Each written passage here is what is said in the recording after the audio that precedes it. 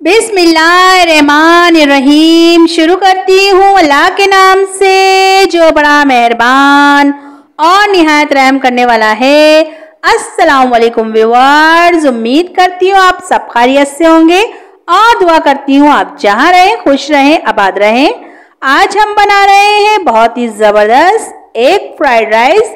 Guys, ये बहुत ही ज़बरदस्त बनते हैं और बहुत ही जल्दी बन जाते हैं। तो चलिए गाइस इसको बनाना स्टार्ट करते हैं। हमें जो सामान चाहिए, हम वो नोट कर लेते हैं। ये गाइस दो बड़े साइज़ के आलू थे। मैंने इनको जो है बॉईल करके इस तरह से कट कर लिया है। और दो अदद अंडे लिए हैं हमने। कुटी हुई मिर्च वन टीस्पून काली मिर्च वन टीस्पून नमक वन टीस्पून ये है एक अदद गाजर। मैंने इस तरह से इसको जो है कद्दूकश से क्रश कर लिया है। एक मैंने शिमला मिर्च ली है। मैंने इस तरह उसको कट कर लिया है।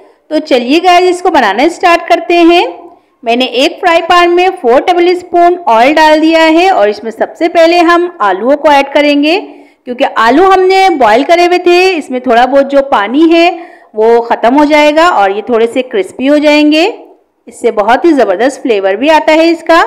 तो गाइज़ तकरीबन दो मिनट हम इसको फ्राई करेंगे, जब तक इनका कलर नहीं चेंज हो जाता, जब तक हम इनको फ्राई करेंगे। ये देखिए गाइज़ इनका कलर चेंज हो चुका है और ये बहुत ज़बरदस्त फ्राई हो गए हैं। अब हम जो सब्ज़ियाँ काट के रखी थी, वो ऐड कर देंगे। और सब्ज़ियाँ आप अपने टेस्ट के हिसाब से जो आपको पसंद हो, आप वो ऐड कर सकते हैं इसमें। गाइज़ मैंने इसमें सब्ज़ियाँ ऐड कर दी हैं और इसके बाद जो हमने काली मिर्च और नमक वगैरह निकाला हुआ है, कुड़ी मिर्च, वो भी ऐड कर देंगे। और ये बहुत ही जल्दी बन जाते हैं चावल और बहुत ही ज़बरदस्त लगते हैं। ये देखिए, मैंने इनको भी मिला दिया है। इसके साथ हम इसको अच्छे से मिला देंगे और मिलाने के बाद इसको अब मैं कवर लगा दूँगी तकरीबन एक मिनट के लिए ताकि ये जो सब्ज़ियाँ हैं, हमारी ये पक जाएँ। हमें ज़्यादा इनको, बहुत ज़्यादा पकाना नहीं है। एक मिनट के लिए हम कवर लगाएँगे गाइस तो मिलते हैं एक मिनट के बाद। ये देखिए गाइज़ मैंने ये दो अंडे हैं। इसमें ज़रा सा मैंने जो है एक चुटकी फ़ूड कलर ऐड करा है। ऑरेंज फ़ूड कलर है, जिसको जर्दे का रंग भी कहते हैं। और थोड़ा सा मैंने इसमें नमक ऐड कर दिया था, तकरीबन हाफ़ टी स्पून और इनको अच्छे से फेंट लिया है। ये देखिए गाइज़ एक मिनट हो गया है और हमारी जो सब्ज़ियाँ हैं, ये फाइनली पक चुकी हैं और बहुत ही ज़बरदस्त खुशबू आ रही थी इसमें से। अब हम इनको साइड में कर देंगे और फ्लेम को बिल्कुल लो कर देंगे, जैसे कि हम चावल वगैरह दम पर रखते हैं, बिल्कुल लो फ्लेम ताकि ये सब्ज़ियाँ जो हैं, हमारी जले नहीं। ये देखिए, ये ऑयल जो साइड में आ गया है, इसी में है हम जो है अंडा ऐड कर देंगे। इसी ऑयल में हम अंडे को भी पकाएँगे। ये देखिए गाइज़ मैंने जो अंडा हमने फेंट के रखे हुए थे, वो ऐड कर दिए हैं। और अब हमें जो है इसको हल्के हाथ से मिलाना है, बहुत ज़्यादा नहीं मिलाना ताकि ये जो है बहुत छोटे छोटे पीस ना हो जाए। थोड़े हमें जो है इनके अंडे के बड़े पीसेस चाहिए हमें, बहुत ज़्यादा हमें नहीं मिलाना है इसको। और फ्लेम को बिल्कुल लो रखना है ताकि जो साइड में सब्ज़ियाँ हैं वो जले नहीं। और ये देखिए गाइज़ अब थोड़ी सी देर बाद मैं इसको मिला रही हूँ। एक मिनट के लिए आप इसको ऐसे ही छोड़ दें और फिर जो है आप इसको मिलाएँगे। तो ये बहुत ही ज़बरदस्त जो है इनके पीसीस हो जाएँगे अंडे के। इसको इसी तरह मिलाते हुए हम पकाएँगे तकरीबन एक से डेढ़ मिनट। अंडा जो है आपको पता है बहुत जल्दी पक जाता है। ये देखिए गाइज़ मैंने इसको अच्छे से मिला लिया है। अभी थोड़ी देर इसको छोड़ने के बाद दोबारा हम इसको अच्छे से मिलाएँगे। ये देखिए, हमारा जो है, अंडे बिल्कुल पक चुके हैं और अब हम इसको सब्जियों के साथ मिला देंगे। ये देखिए गाइज़ मैं इसको सब्जियों के साथ जो है, मिला रही हूँ। तो गाइज़ जब तक मैं अंडे को सब्ज़ी के साथ मिला रही हूँ, आप लोग मेरे चैनल को सब्सक्राइब कर लें और बेल आइकन को दबाना ना भूलें ताकि आपको मेरी वीडियो बर देखने को मिले। और गाइज़ अगर आपको मेरी वीडियो अच्छी लगती है, इसे लाइक करें शेयर करें और कमेंट्स में मुझे ज़रूर बताया करें कि आपको मेरी वीडियो मेरी रेसिपी कैसी लगती है, ताकि मेरी भी हौसला अफजाई हो और मैं आपके लिए अच्छी से अच्छी वीडियो बना सकूँ। ये देखिए, हमने इनको अच्छे से मिला दिया है। अब मैंने चूल्हा बंद कर दिया है क्योंकि हमारे ये पक चुके हैं। ये आधा किलो मैंने चावल लिए हैं। इनको दो घंटे पहले ही मैंने भिगो दिया था। लहसुन अदरक का पेस्ट है वन टीस्पून एक छोटी सी मैंने प्याज ली है, एक कनौर क्यूब का क्यूब्स लिया है, चार से पाँच हज़ार हरी मिर्चें हैं, थोड़ा सा ये पुदीना है।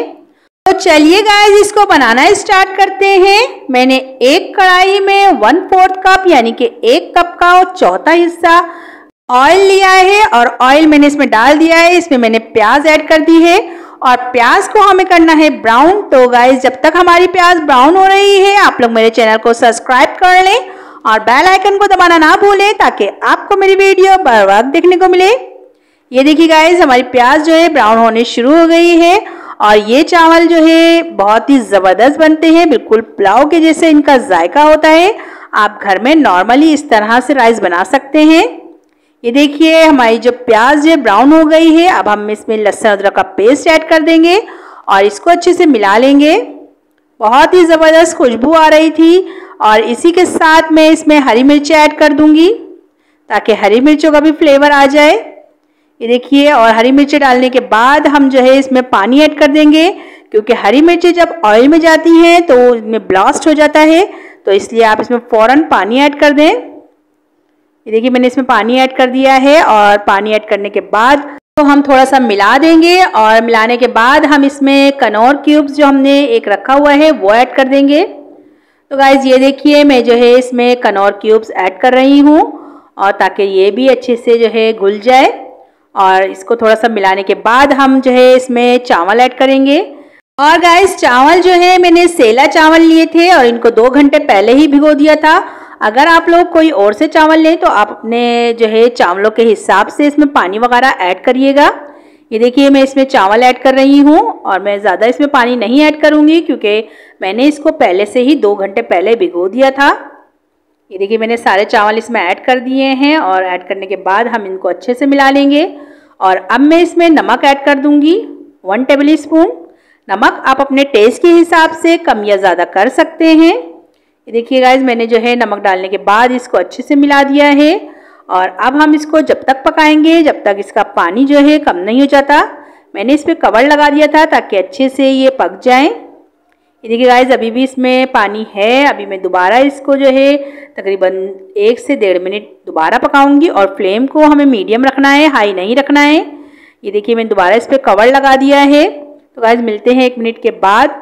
ये देखिए गाइज़ एक मिनट हो गया था और इसका पानी जो है तकरीबन कम हो चुका है, बहुत ही और अब हम इसमें कुछ चीज़ें और ऐड करेंगे।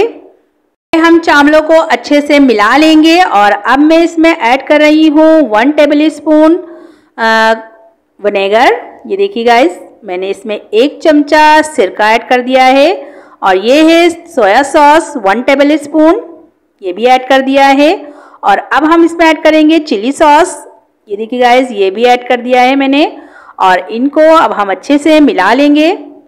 इससे जो है हमारे चावल बहुत ही ज़बरदस्त बनेंगे, ये चुपकेंगे नहीं आपस में और ये बहुत ही खिले खिले और बहुत ज़बरदस्त बनेंगे और इनका फ्लेवर भी बहुत ही ज़बरदस्त होगा। और अब इनको मिलाने के बाद हम इसको दम पर रख देंगे तकरीबन 15 मिनट के लिए, जब तक ये इनका पानी बिल्कुल ख़त्म नहीं हो जाता और इनमें अच्छी से स्टीम नहीं बन जाती। ये देखिए गाइस पंद्रह मिनट हो गए थे और हमारे चावल जो है, माशाल्लाह से बिल्कुल तैयार हो चुके हैं और बहुत ही ज़बरदस्त ये दम हो गए थे। तो अब हम इनको थोड़ा सा मिलाने के बाद इसमें जो हमने अपनी सब्ज़ियाँ और एग बना के रखा हुआ है, वो ऐड कर देंगे। ये देखिए गाइस हमारी सब्जियों का लुक कितना ज़बरदस्त लग रहा है। अब हम इसमें चावलों में ऐड करने के बाद इसको अच्छे से मिला लेंगे। और ये देखिए, हमने सारे इसमें ऐड कर दिए हैं और अब हम इसको अच्छे से मिलाएँगे और मिलाने के बाद हम दोबारा से इस पर कवर लगा देंगे एक मिनट के लिए। ये देखिए, अब मैं अच्छे से मिला रही हूँ गाइज़ इनको मिलाने के बाद हम जो है इसमें पुदीना भी ऐड कर देंगे। गाइज़ ये देखिए, मैं इसमें पुदीना ऐड कर रही हूँ और पुदीना ऐड करने के बाद भी हम इसको और ज़्यादा मिलाएँगे। और गाइज़ इसको एक मिनट के लिए हम दोबारा से कवर लगा देंगे। गाइज़ ये एग फ्राइड राइस बहुत ही ज़बरदस्त बने थे। आप लोग भी इसको ज़रूर बनाइएगा और आपने देखा कि हमने कितने कम सामान से और कितने कम टाइम में ये कितने ज़बरदस्त जो है राइस तैयार किए हैं। तो आप भी इसको ज़रूर बनाइएगा और मुझे कमेंट में ज़रूर बताइएगा कि आपको मेरी ये रेसिपी कैसी लगी। तो गाइज़ ये देखिए, मैंने इसको अच्छे से मिला दिया है और अब मैं दोबारा से इसको कवर लगा रही हूँ। मैं आपको दिखाती हूँ डिश आउट करके। ये देखिए गाइस माशाल्लाह से हमारे एक फ्राइड राइस तैयार है। कितना ज़बरदस्त लुक लग रहा है इनका। और गाइस ये देखिए, मैंने इसमें केचप भी ऐड कर दिया था। बहुत ही ज़बरदस्त फ्लेवर लग रहा था केचप के साथ इसका। और बहुत ही ज़बरदस्त बने थे ये। आप भी इसको ज़रूर बनाइएगा और मुझे बताइएगा कि आपको मेरी ये रेसिपी कैसी लगी। गाइज़ मैं आपके लिए बहुत ही आसान रेसिपी लेके आती हूँ। और बहुत ही जल्दी बनने वाली रेसिपियाँ लेके आती हूँ, बहुत ही कम टाइम में पकने वाली। तो गाइज़ आप भी मुझे ज़रूर बताया करें कि आपको मेरी रेसिपी कैसी लगती है। तो गाइज़ चलती हूँ, दुआओं में याद रखिएगा। इनशाला फिर एक ज़बरदस्त सी रेसिपी लेके आऊँगी आपके लिए। अल्लाह हाफिज़।